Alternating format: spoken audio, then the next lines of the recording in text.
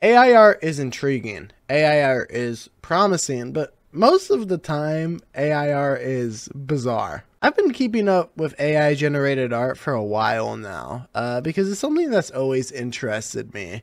But it's definitely very much in its infancy right now. There's this Twitch channel that's live 24 7 called Watch Me Forever. And basically, what it does is it uses Chat GPT, which is some AI thing that like writes out things based on prompts and stuff and it's creating like one minute long Seinfeld clips. I tested Chat GPT on my own and I threw a lot of questions at it, some serious, not some not serious, and it did pretty good at answering them. Um, though it didn't really know who I was, which to be honest, it hurt a little bit. I also put some of my song lyrics in to see how the bot would analyze them, and the way it analyzed my song Mr. Robot was pretty funny. The text you provided appears to be the lyrics to a song. The song is called Mr. Robot Singing, and it is about a robot that is singing. yeah, is it? The lyrics mention the advancement of technology and the impact it is having on society. The lyrics also mention that the robot singing can influence people and captivate them with its precision and artistry. The refrain and chorus repeat the title, Mr. Robot Singing, and emphasize the idea that the robot is singing. Yeah, I, I guess that's I guess that's that's right. but using this tool, Watch Me Forever has created something unbelievably bizarre. I mean, it's it's like Seinfeld in a sense. It has laugh tracks. Uh maybe they're not always appropriately placed. Think when we die that's it? Or do you think there might be something else after this life? Well, Fred, I'm more of a scientist than a philosopher, so I can't say for sure. But if I had to guess, there's probably something more out there.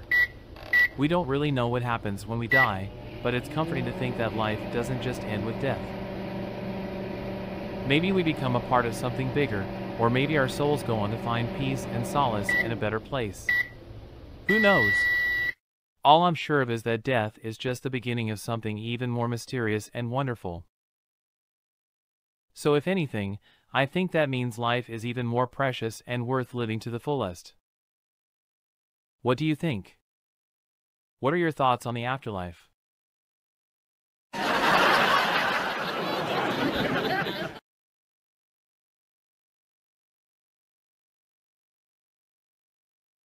I mean, that was a zinger, wasn't it? Also, I'm pretty sure the characters are AI generated as well because the way they move around and stuff's kind of weird, as you saw in that clip. The animatronic characters here do get a bit quirky at night. But the original clip that actually made me want to research this topic was this one. I was riding the bus the other day and it was so crowded that I had to sit on someone's lap. Of course, my luck, it turned out to be my old math teacher.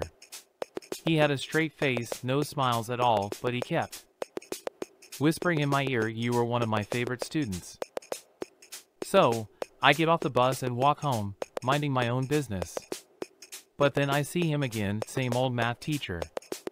He waves me over to his car with this big grin on his face. He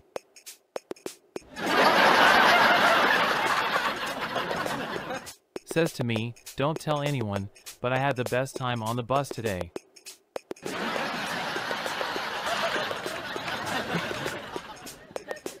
I just stood there, speechless.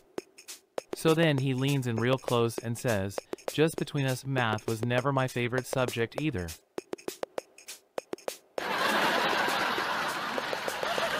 Like, the fact that AI came up with that is frightening because AI learns from humans.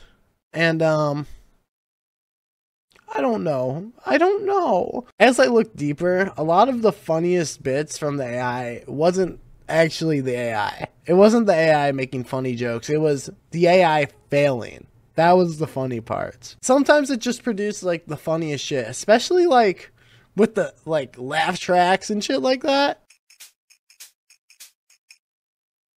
Hey, you know what I heard the other day? What? Go on.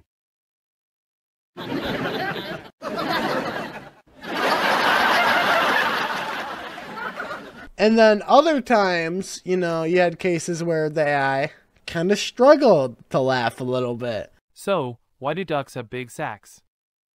I have no idea. To keep their quackers in. Laughs.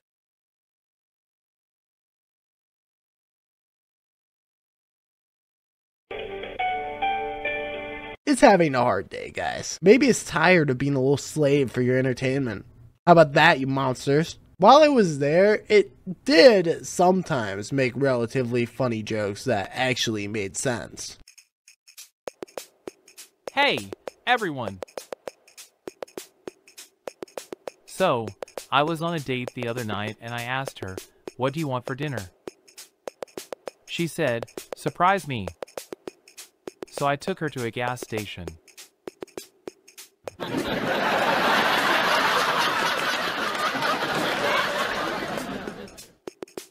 I don't know why everyone's laughing, that was actually really nice of me. I mean, it's not like I took her to McDonald's. Anyways, so that's my story. Let me hear your best date stories.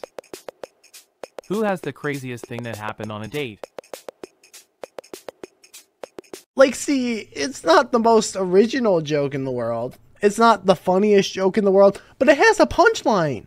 You know, it has a punchline, and it's it's an actual joke.